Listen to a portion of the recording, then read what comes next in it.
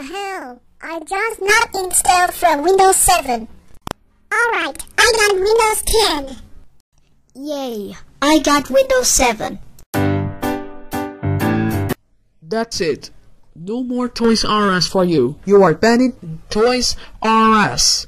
Okay, Pantomiss, here's your iPhone. Pantomate, you have some good news. I have in the in, buy on TV.